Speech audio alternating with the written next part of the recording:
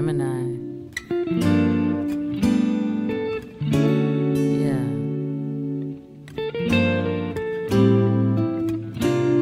Look.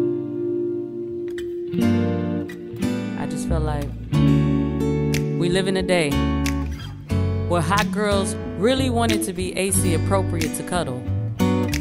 City girls want a king with a hint of hood in the most safest, most expensive suburban area. Where girls believe that the independence Beyonce preached was cohesive to divine femininity. We live in a day of the filtered fantasy, Photoshop reality, and catfishes happen more often out of water. Where it's weak to care, but cool to be unbothered. But bitches be bothered. Got so used to wearing masks physically that N95 started suppressing their feeling.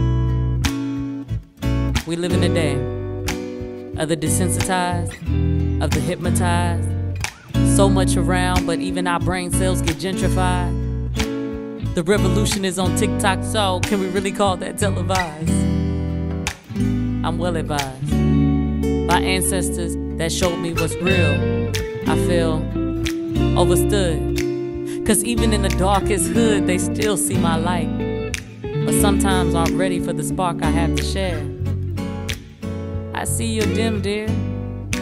I came to set a blaze. I came to show you a path without a maze. And you don't even have to click here now to subscribe to any class. You can do it right now, sitting on your ass. Close your eyes, listen to that voice inside. I mean, I know it sounds like a Disney commercial, but nigga, just try it.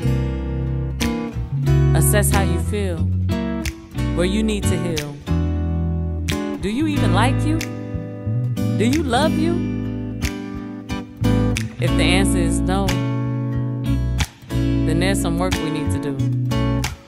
And look, I don't have all the answers, Sway, but I know the universe answers when we pray. And today, today could be the day. In a world full of followers, be the yay. But in your own type of way. You dig?